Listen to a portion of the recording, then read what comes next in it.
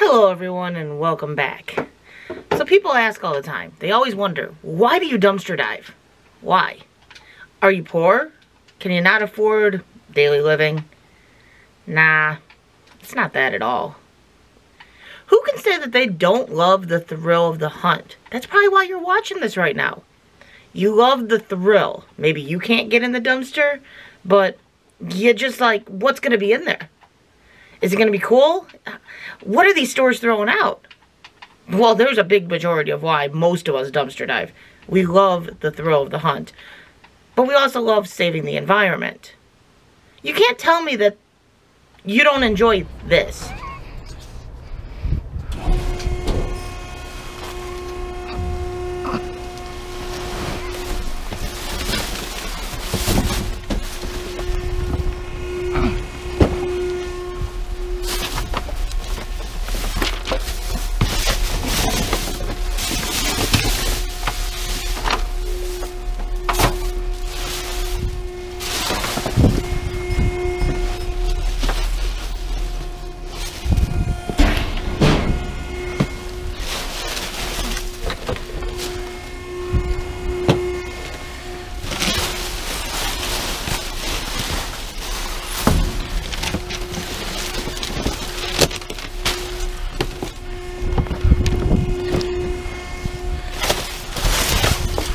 Okay, so that's not the only reason. Sure, it does help a little bit with stretching our money so we can afford the luxuries of life.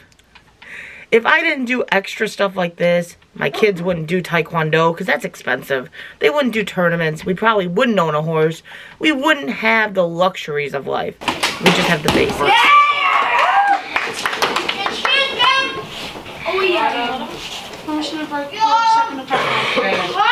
We just have the basics. With one income in the house, we just have the basics.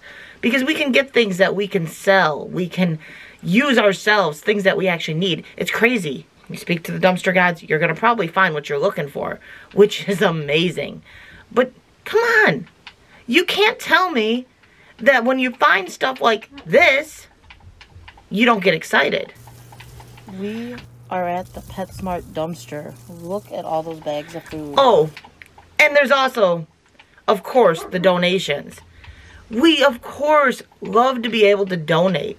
A lot of us are very giving. Most of us are very giving.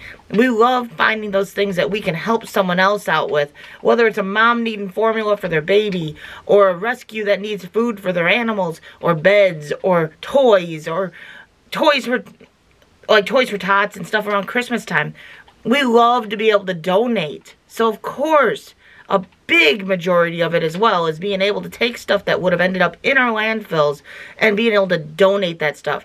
When we find stuff like this. There is a local rescue that had a call out for as many candy canes as you can get. Well, I can tell you this, guys. They're getting a load of candy canes from me.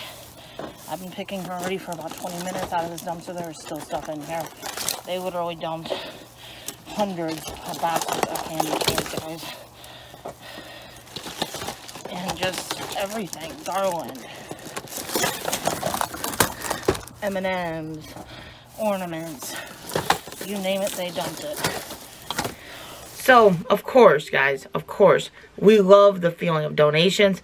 This is some of the stuff that I'm donating right now. You guys have seen some of my donations. You've seen the food going to the cat rescue. You've seen stuff I found and said this is getting donated. Food that's gone to pantries. All of that stuff.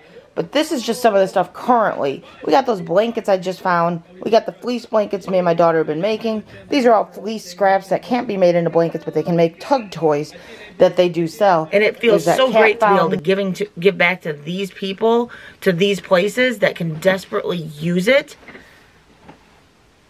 you can't say you you wouldn't think that was amazing yourself. So why do we dumpster dive? In short, many reasons. Many, many reasons. For ourselves, for our community, and for our earth. Hope you guys are having a great day, and we'll catch you on the next one.